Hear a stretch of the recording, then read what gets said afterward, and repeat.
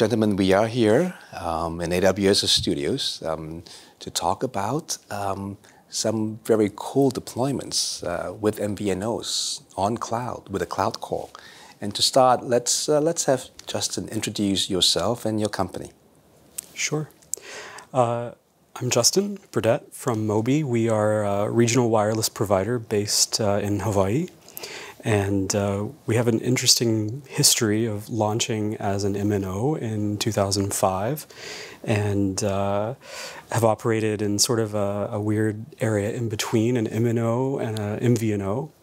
Uh, and that's what led us actually to meeting, uh, meeting both of you guys actually over the years. But uh, yeah, that's us. Excellent. And Erlend, for the very few in the world who may not know who WG2 is. Uh, I'm Erlend Prestgard. I'm CEO of Working Group 2. Uh, we are uh, a provider of uh, mobile core, uh, grown up in the cloud, uh, built as a global platform for operators and developers alike. Excellent, thank you. All right, we'll start with you, Justen. Um, yeah, you get the pain first, but but speaking of pain, yeah, no, speaking of pain, um, now, MVNOs out there usually run on someone else's core, right? Someone else's RAN, someone else's core, right? You're just borrowing it. Um, what prompted you to go look for a mobile core in the first place? Well, I mean, we had a history of being an MNO, so we had our own core at that point fully. Mm -hmm, sure. And, uh, you know, there's a lot of cost yes. associated with that, a lot right. of trouble sometimes yes. associated with that.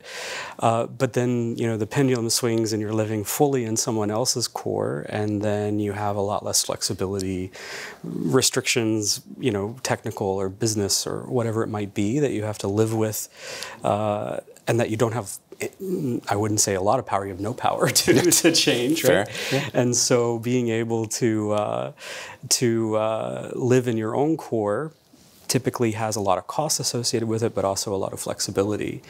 Um, and when we started to see things shift towards the cloud mm-hmm. uh, and towards you know folks other than the legacy monolithic core providers that right. are out there, not naming any names. Yep. Uh, they're lovely people as well. Yes, um, but they are. when we started to see that shift, uh, we thought, gosh, it might actually make sense to uh, to tap back into that because of the flexibility that we really missed mm-hmm. uh, from before, and that led to to this guy actually right. reaching out to us. Ah, so serendipitously, so, actually. Perfectly. So as you were thinking that, Erlend somehow got the impetus to give you a call. So Erlend, how did that meeting go, and how did I mean, number one, how did you know to call Justen at the right time? number one. Number two, and how did the first meeting go? Uh, so this is uh, this is a long time back. Uh, this is uh, super early in the days where uh, I was also doing the sales on behalf of the company. You're doing everything on behalf of the company. I was doing quite a lot on behalf of the company, um, and it was an MVNO conference, I think, in Florida. ECM, I think it was a combined ECM and MVNO right. conference where you have a very eclectic uh, set of people that are quite fascinating. But it's a, it's a non-traditional scene, and where we you know we like to find the the newcomers, the the the, the rebels. Uh, right. I think they're a good fit for us. We like mm -hmm. to mm-hmm. work with uh, with people who think differently, so it's a good place for that. The round pegs in the square holes. The round pegs That's in the square right. holes, absolutely.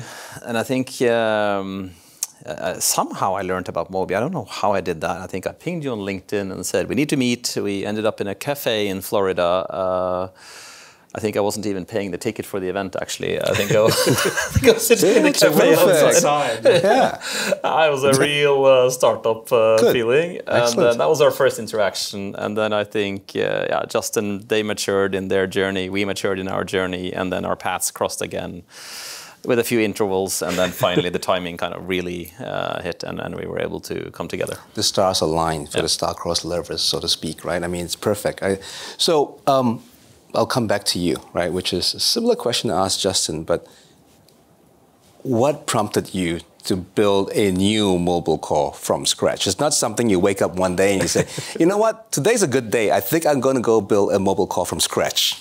What drove you to do that? Yeah, it's uh, also a long story, but I think the, the, the, the gist of it is our team originally didn't want to build a mobile core. They wanted to build the stuff on top of the mobile core mm. that made your subscription more useful. Right. But the experience of doing that was so deeply frustrating and so expensive and so tedious. Right that uh, they decided that it's easier to build a core uh, than to build simple products on top of the core, literally. Right. Uh, or uh, not easier, perhaps, but at least you need to do that to be able to do this. Fair. You need to build your foundation before you can build, you know, the advanced cool stuff. So I think we just realized that uh, the future is going to look different. You know, you, you now have as many cores configured in as many ways in as many permutations as there are operators in the world. Mm -hmm. There's probably not two single cores in the world that look the same. That's true. Quite a few of them have more than one. That's right. Actually, exactly right. Yes. And, yes. You know, if you if you take. Um, you know, if, if you're a modern tech company and you and you kind of look at the world, uh, if you if you had a clean sheet of paper, you know, is yes. that how you would do it? Right. Would you deploy, you know, hundreds of different implementations of eff that effectively do exactly the same thing? Almost, you know, 99% is exactly the same. Right and it's, you know, it's a fairly obvious answer that no, mm-hmm. that's not how you would do it. And then we said, okay, so so if that's how you wouldn't do it, how would you do it? And right. we tried to build it in the way that you would do it. Mm-hmm. Uh, and then, of course, we're our journey to, to have the world agree with us uh, yeah. that that's the way you should do it, uh, and that, that's a long journey in telco. Uh, yes, it they, is. They don't decide overnight that uh, that we are right. Uh, a few we people did. do. Yeah. A few people do. Yeah, the, the special ones yeah. the, the, visionaries, the round pegs in the square yeah, holes, and exactly. so on. Uh, so no, but I, I think it's uh, and that's fun. You know, we, have been here at Mobile World Congress every year since we did this. Great. And the first year we were talking about cloud as a service, APIs, and this is what, five, six years ago now. And everybody was like, what's cloud, what's an API, and what's as a service? Yes. And then every year you can see the trend coming. So I think this year, you know, you, you walk out here, it's like, it's cloud, it's API, it's as a service. It is. Yeah. It absolutely is. No, I think I think you guys were very brave to do it, or bold, or whatever word you want to use to if do it. If it hadn't worked out, they would have been crazy. That's correct, exactly. But here we are sitting, and the mobile core works. And oh. I, I, mean, I would say that when I first met Erlend and the team, I, I we had hypothesis as analysts. We have hypothesis about what's the possibility.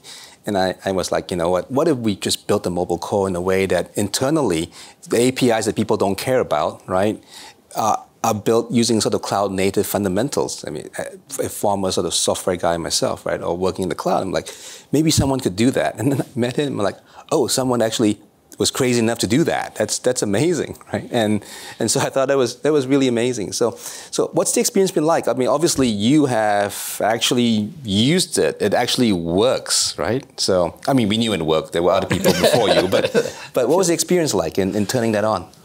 Well, I mean, uh, for us, I, I, joked about it being overnight, but it wasn't overnight. Right. Um, certain things happened that uh, timing did line up delays that we faced on our side that had nothing to do with Working Group 2 sure. created room for us to, to, to, work with Working Group 2, ironically. But, um, you know, for while it wasn't quite overnight, uh, it was just slightly over a month from us finally agreeing that hey this makes sense for us to figure out mm-hmm. and us being able to do the first call and text message and data session on that and part of that was actually me trying to convince him that not that they could do it because I think they knew they could do it if they didn't have to work with anybody else. right. Um, but you know they didn't yeah. know if we could move that fast. Right. And they didn't know if our partners could move that fast. Right. And part of it was I think hoping that uh, I could convince you that we could move that fast. But it's it's amazing. I mean, you know, to go from spinning up a mobile core being a tens of millions of dollars mm-hmm. uh, endeavor right. to being something that not quite everybody, but almost, well, maybe eventually everybody. Yeah. Th- that's something that can be done for telecom carriers of any size anywhere right. in the world. Right. Uh, it's pretty pretty incredible. No, it is amazing. It's a bit yeah. of an interesting thing because we, uh, as Justen said, you said, you know, I want you guys to go live quickly, and we were like, uh, no, we don't want to do that. Uh, and it's from experience, right? right? Because right. You, you end up in a situation where you feel like you're promising something that you can't deliver, even if we do our job. Uh, but it's also a, it's a very interesting thing about the industry because we work with you know big established companies with established you know procurement oh, yeah. departments Understood. and policies and compliance yeah. documents and, and you know hundreds of pages of, of whatnot and then we work with uh, Justen and, and, Brad and Mobi, um, and uh, you know we're trying to figure out. Uh, they are really you know at, at the ends of the spectrum, and and also uh, there are individuals in Mobi who are incredibly knowledgeable, so they, they can actually you know they don't need to go and ask 300 people; they actually know the answers. So we were super hesitant to to commit to this. So we said okay, and he said, oh, but I want you to try it. Okay, we'll try, but we're not going to put it in a contract. Right. said, fine, I can live with that. And then actually that gave us enough flexibility flexibility to really move fast. And then he has a, he has a really good set of partners that allowed us to move ridiculously fast. Yeah, I know that that that, that mobile call turned on much faster than I could ever imagine. Right, yeah. to, to, to, do that first call and you telling me the timeline that's ridiculous. Right, in in telco time. Right? Yeah, and I mean, one of the challenges, right, is we were we did this just before U.S. Thanksgiving, yes, uh, where yeah. every everything shuts down, every lockdowns. That's change right. trees or code that's trees, or, uh, and you know, so there we, we actually, we would have been probably a week or two to live, except for, you know, massive holidays and people out on vacation, that's, literally no changes being possible. But had it not been amazing. for that, uh, would have been even faster. But Werner, his CTO, earlier today said, um, uh, I actually regret doing it that fast because now you expect us to always move yeah, exactly. No, I think, I think that that's actually pretty amazing. And I, and I think I, I do agree, Mobi's a little different. I, went through the onboarding process in Mobi. There were humans involved. When I emailed back, you know, the, the, the, there were humans that were actually talking to me, which is not the experience with not all the carriers are the same way, right? So no robots. It's very nice. So I, I, have to say, as a as a customer now, actually, um, it actually works. Um, let's go back to obviously that, that speed, the time to, the time to deployment, the cost effectiveness. I think that obviously aspects of the cloud, right? What else have you discovered? I mean, you you run your mobile core as a service on the cloud, right? What have you learned and experienced in, in doing that, and what are the advantages? And, and was it everything you hoped for? So I think uh, so. These choices for us, we made them seven, eight years ago. Um, and it started with the team actually using OpenStack, mm -hmm. but spending half the team managing OpenStack instead of building applications that we thought could create right. value. So, sure. so, so, the team said, let's use AWS, mm -hmm. and that's a you know oh, in that's telco a big, that's a long time ago. Yes. uh, but they, you know, suddenly they you know could spin up stuff in, in, in, seconds and minutes that took a long time otherwise, and the team could focus on, on, on, on what was value creation. So I think that was the first part. You can you can spend your time on where you think you can add value. So that was the first aspect.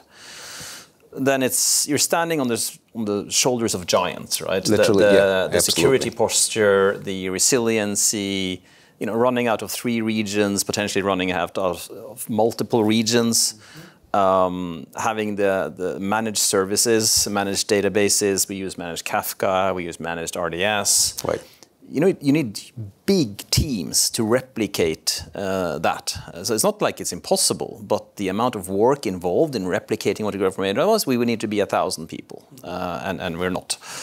Um, so that I think the second part is you, you, you, can you can you can stand on the shoulder of giants, and it's extremely powerful, uh, right. and replicating it is close to impossible for small teams. Mm -hmm. And then I think the, the, the, third thing is you can suddenly start going from, you know, you have a data center locally, you can start thinking globally. Right.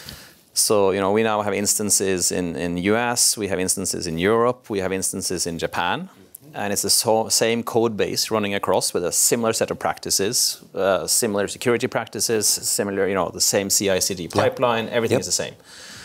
Um, and yeah, and that, that is extremely powerful. I mean, I mean, I, I, don't know how we would have done that in, in, a, in a, in a you know own data center world. Uh, that's uh, yeah. I think you can do it if you're huge. Right. Uh, right. But, but it would have been impossible for us. Yeah. No, I think that that's a huge value of the cloud. And as you point out, there are services available. Why rebuild it or why reinvent it, so to speak, to to to get there? why not just use it and focus on where the core value add is, where what's new, right? What's what's novel, right? Um, I think the one of the fascinating things is you know. Uh, it's come to the stage now. If, if you pay attention to you know Amazon re:Invent, yes, uh, you know, it's come to the stage where we actually need Amazon people to help us understand uh, which of the 300 new things we need to pay attention to, right. because you know, it's the, the, the innovation pace is so fast. It is. No, it's, it's amazing. Uh, but suddenly, you know, suddenly you have a CPU that uh, reduces your uh, cost by 40%. By 40%. Exactly. Or, or yeah. suddenly you have this new security service or this new right. cool noise reduction service that That's you want to plug in, and yeah and that you know that helps us to what we can give to our customers. So that is also extremely powerful. Yeah, no, I mean the same CI/CD pipeline is really powerful because at the end of the day, right, when Justen when Mobi goes global, because now the core can run everywhere, anywhere, he just has to negotiate the RAN part of it, really. And then he's super rich on his private island in Hawaii, and he wants his own private network. Same CI/CD pipeline deploys on the Snowball Edge in his private island, right? Same thing. No changes.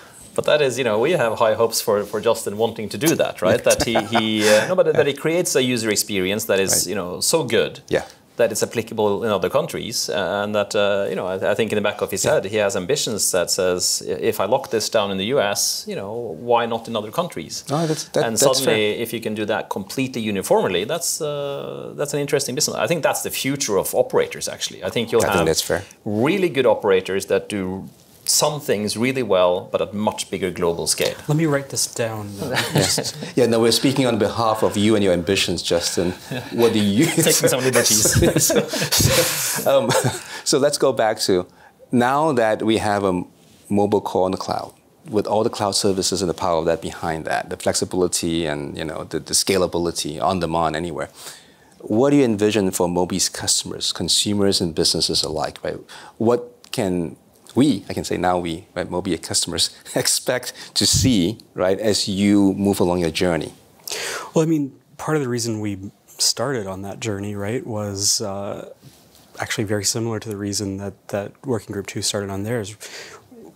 In a perfect world, I wouldn't necessarily need to live in my own cloud. I could live in somebody else's cloud if we had the control we need. I wouldn't need to live in my own core. I could live in somebody else's core if we had the control we need. But it's now at the point where the economies of scale of the cloud and, and certainly the scalability of the right. cloud and the redundancy and re mm-hmm. resilience of the cloud make that uh, you know an amazing thing um, and so you have that foundation now to do the things that we really want to do with, with the Mobi app and making the onboarding experience incredibly easy and simple mm -hmm. and streamlined for our customers. Uh, you know, making uh, new capabilities possible that historically, you know, would have been difficult or impossible for even an MNO, let alone right. a, a, an MVNO. Um, and and that's you know just in our market in Hawaii is pretty incredible. But to be able to offer that you know elsewhere the U.S. or around the world, if we get it right, I think in Hawaii would be would be certainly an exciting thing. But staying focused on you know delivering an ever better customer experience is a core part of who we are and what we do and what we believe. Um, but extending you know the capabilities that we now can tap into into private LTE, private 5G, into uh, programmable wireless, so that right. you have API access, whether you're just one person tinkering around or you know a, a big IoT or B2B or whatever it might be uh, developer, making those things possible uh, is pretty pretty exciting for us because today it's really hard to find, if not impossible to find, that level of, uh, flexibility for an end user, whether you're B2C or B2B or IoT or Agreed. whatever uh, initialism you want to go with. Agreed. And what's amazing is what you're talking about is um, the, the telcos, other telcos have spent, you know, hundreds of millions of dollars trying to build those platforms, yeah. right? And now it's actually available to you, right? Pretty cost effectively. Um, and like now, right? It's not waiting, right? It's not that 18 months or 24 months that in the telco world we always hear about. It's like 18 months out. Six months later, 18 months out. Six months later, 18 months out. And right? double or triple your original budget. That's correct, right? So I think that's the part I think that's remarkable to me, that, that this all works. And not only does it work, it gives you a platform to build something better in the future. And that's, to me, I think that's remarkable. So, well. And very exciting. Yeah. Excellent. We'll best to make that happen. Yeah, no, I'm looking forward to it and seeing more stuff. Right. Well, you so. did your part. Now it's uh, now, now it's uh, yeah, exactly. Yeah. So looking forward. Well, thank you, gentlemen. Thank you for your time. Um, I think this is a very happy marriage for sure, and looking forward to seeing more from both of you. Thank Likewise. you so much. Likewise. Thank you.